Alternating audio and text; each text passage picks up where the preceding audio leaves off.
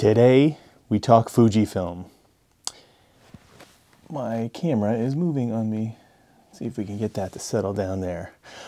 So yeah, today we're going to talk Fujifilm. Um, specifically, I want to talk about the eye autofocus and the performance on the new XS10. So for those of you who don't know, and that is pretty much everyone who's watching this video, I have shot Fujifilm for the past eight years or so. The first uh, Fuji camera I bought, not the first Fuji camera I bought, but the first uh, digital camera in that XT series was the XT1, and that was released back in 2014. Yeah, so it was about eight years ago. I don't think I bought it right when it came out, but maybe six months later. And I immediately fell in love with it. It is a terrific camera. It was a terrific camera. I have since sold it. And that pains me to this day because I really love that camera and I took some beautiful images on it. But uh, be that as it may, uh, I don't have it anymore. So anyways, this XS10 is really a sharp departure from the XT series in that it uses a PASM dial as opposed to the analog controls that you typically find on top of uh, the XT cameras and the XH series cameras to a certain extent as well. So the reason why I'm telling you this is so that you understand my perspective here. So I've got a tremendous amount of experience using Fujifilm cameras. And one of the biggest challenges, and this is like if you talk to anyone who does camera reviews or just knows a lot about cameras and is really involved in camera gear, will tell you the Achilles heel for Fujifilm has traditionally been its autofocus. Um, so they've they've claimed that they've made some pretty dramatic improvements in the autofocus department, and I have noticed that for sure with uh, the ability, especially in uh, when you're shooting for photography, it is just very very quick. But for video, it still hunts like crazy, at least for me. So uh, I purchased this XS10. My previous camera that I was using and still using is an XH1 and I, I never use face or eye detect on that camera because it is not reliable at all. It's highly unreliable. It will literally find a face in anything. So um, let me just go over some of the settings that I have set up in this particular camera. Now again, this is the XS10 and I have it paired up with the new 18 millimeter 1.4 lens from Fujifilm for those of you who have not had the opportunity to test this lens or try out this lens yet, do yourself a favor.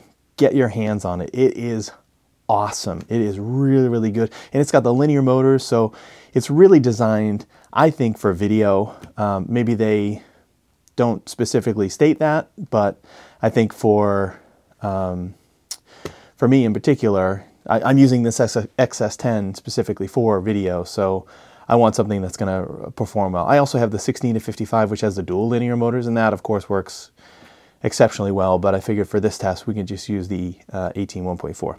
A couple of other settings that I want to go over here. Let me actually get to that page. All right, so we're recording in 4K 30p, and I have an, an AFC, so it's continuous autofocus. I have the tracking sensitivity set to plus two, which I guess in Fuji speak it goes from zero to plus four, plus two being the middle. So that should be fine, that should be sufficient. And then I have the AF speed turned down to minus three. Now it goes all the way down to minus five, but I found like the standard setting that it comes with is um, at zero is still a little too jumpy, and anything north of that, you know, if you go plus one, plus two, all the way up to plus five, it is insanely jumpy. It's constantly hunting, so we definitely do not want that. So um, I've got it set at minus three. Um, what else? Oh, the uh, the focus mode right now I have set as um, um, not zone. What's it called in Fuji speak? It's not area. So area is the one that you get a box. Oh, I think it's called multi, multi-mode. So basically in multi-mode, Fujifilm determines, decides for you, the camera decides what it's going to focus on. So Right now I have it on multi. I have nothing turned on. I have no eye autofocus. I've got no eye detect. I've got no face detect. Literally nothing turned on. I have um, just it in multi-mode and it's trying to figure out, it's deciding on its own what it's going to focus on. So um, I've got uh, an iPhone running on separately, you know, away from the gimbal. And that's the other thing we should talk about. It's on a gimbal. It's on a Manfrotto gimbal. And that way we have some stabilization. I've turned uh, OIS off in the IBIS. Actually, this lens doesn't have OIS, so uh, just the internal IBIS. I've turned that off as well, so you know because it's on a gimbal, you really do, actually you absolutely do not need that because that causes problems when you're panning. So we're going to do three different tests. We're going to do uh, no eye or face detect, then we're going to do face detect, and then we're going to do eye detect. So we're going to do it in those three different orders. And again, I will uh, record separately on a iPhone so that we can see firsthand um, what is uh, is happening in terms of the you know little box that shows up on your face. So again, right now I am just on. Um, you know, it's on, it, it's the focus is, is totally in control of the camera. So as I move around, does it detect me? Actually, it really doesn't need to detect me. But again, you want a camera to be smart enough to to know that there's a moving subject in that frame, and typically you would think that that's what you're going to want to be focused in on. So, all right, so let's try this with no eye auto, no face, nothing, and just see how it does. And see if it focuses on me. I highly doubt it because again, in this mode, it's not really designed to do that. And I am down in my basement right now, so I apologize if this is not particularly smooth. There's a lot of obstacles here that we need to, to go through. Um, although one other thing I should mention too is that we are shooting wide open at 1.4. That gives us a nice indication if something is in focus or not, because you got a fairly shallow depth of field. Let's go back over here.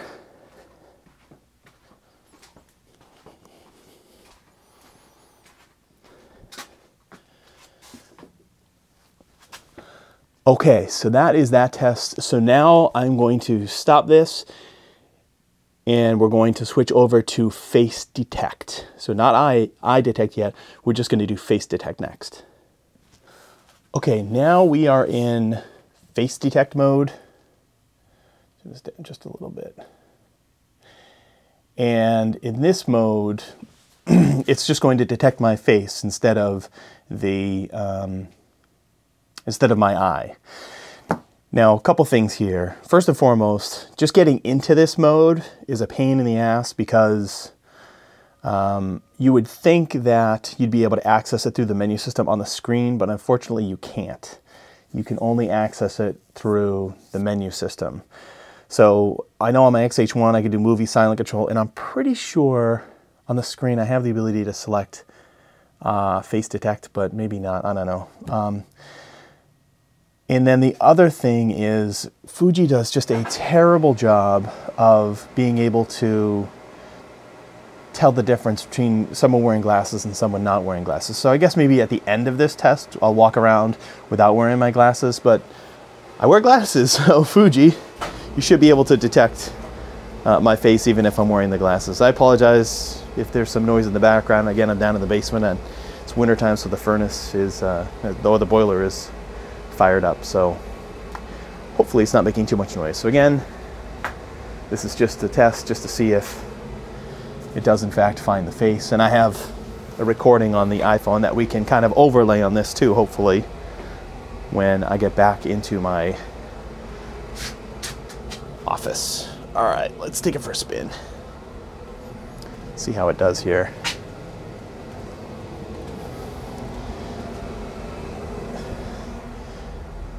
Yeah, so far not so good. Oh, Fuji.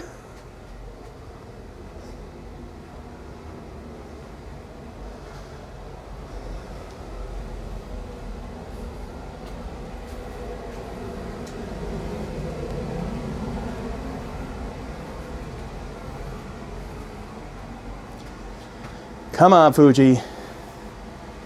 You got this. Maybe if I just stand still for a second. There we go. It's got my face now. As soon as I start moving, then it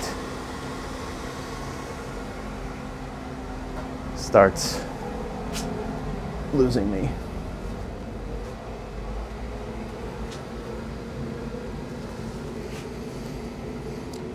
that was not so good. All right, next is eye autofocus. Instead of face detect, we're gonna do eye autofocus. Okay, last but by no means least, we have eye autofocus. So you can see the white box that's jumping all around onto my eye. And it's got the light, lightly shaded green box around my face. See how far away we can go with this. And is this actually seeing me?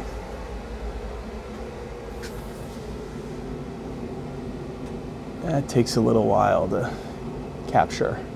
Yeah, let me just remove my glasses.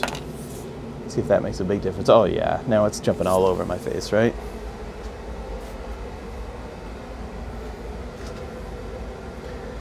I feel like a little Zoolander. Can't turn left.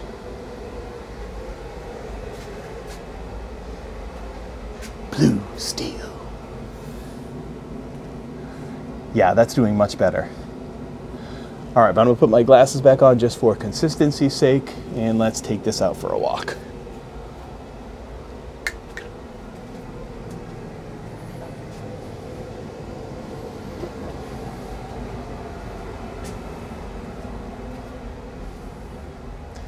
It's hard to walk and try and keep a phone on a sidearm steady.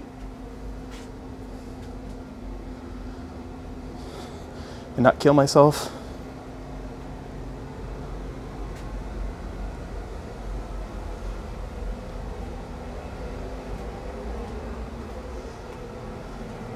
Oh, lost me bad there. Oh. Fuji.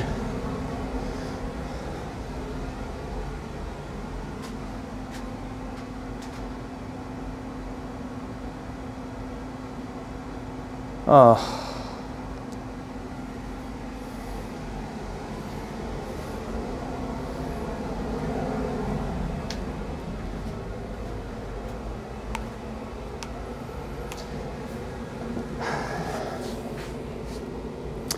So I can already tell the results are going to be probably very disappointing in terms of eye autofocus for Fuji, but I won't know for sure until we actually get back into my office and I download this footage and take a look for myself. But I don't know, Fuji,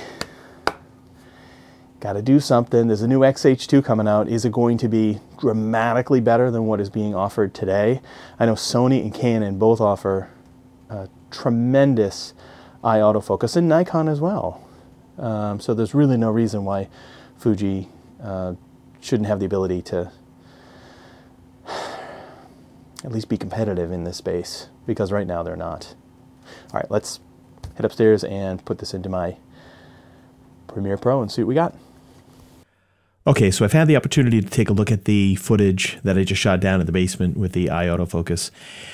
And unfortunately, Fuji is still not ready for prime time when it comes to eye autofocus, which is so disappointing. I mean, they have been making tons of inroads in terms of video specifications, but they just have not been able to crack this nut for autofocus, eye autofocus. I don't know how Sony does it, Canon does it, Nikon does it now. Like it seems like every other camera manufacturer has the has the ability to figure this out, and Fuji still hasn't. That is so frustrating because I have so much invested in this ecosystem. So I know I'm not alone in saying this. There's a bunch of people out there who say the same thing, and it's not for everyone, right? So there's a lot of people who think that it really isn't relevant for for them, and maybe it isn't. But for those of us who do uh, create content, not necessarily just for YouTube, but I do it for my business, and it's important for me to have that focus be reliable, so that when I'm out and about and I'm actually shooting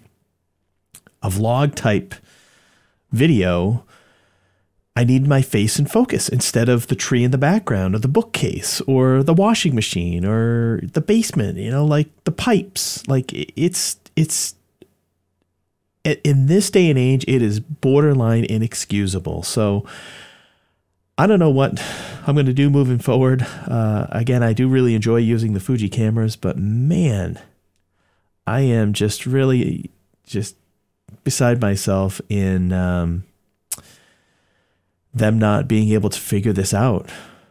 So I don't know. Am I overreacting here? I mean, are, are are the other cameras not nearly that sophisticated from my experience? Again, I've used other cameras, I've used other makes. Um, the Sony is unbelievable. I mean, it will track your face no matter what. You can turn around, come right back, and boom, it's got your face again, and it's it's right in focus. You could just walk right up to the camera, and it doesn't doesn't hesitate, even if you're wearing glasses. Now, I, I appreciate that uh, I'm wearing glasses, but hey, you know, a lot of people wear glasses. So, Fujifilm, I really hope this X-H2 is a step up. It, actually, it has to be beyond a step up. It has to be like three floors up in the building when it comes to eye autofocus. Um, because right now, you're just not cutting it. Anyways, those are my thoughts on the eye autofocus. If you did enjoy this type of video, make sure that you smash that like button and also click the subscribe button to be notified of future videos. Thanks for watching. Take care.